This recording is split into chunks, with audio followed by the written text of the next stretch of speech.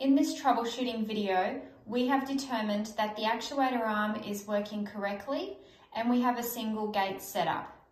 If you have an electric gate lock on your setup, then this step will not work for you. We are going to try running the arm out of MTB, which is usually used for a double gate setup. Currently your actuator arm will be wired in here on MTA on the control board. You will need to remove the arm cables from MTA and wire them into MTB on the left side here. You will need to make sure all dip switches in the middle of the control board are switched off or are in the down position as noted here.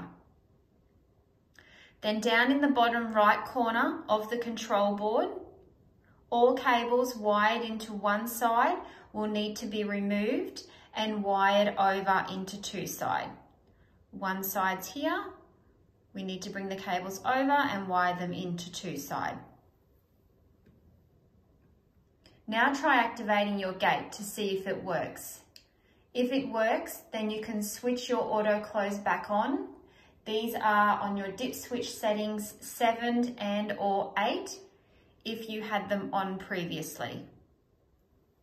Please note that if you have auto close set and the component that failed on the control board hasn't completely failed and is still receiving a little power, then your auto close will take longer to activate. If, however, the component has completely failed, then your auto close will work as normal. If your gate still doesn't work after this troubleshooting, then you may need to contact our office for further assistance.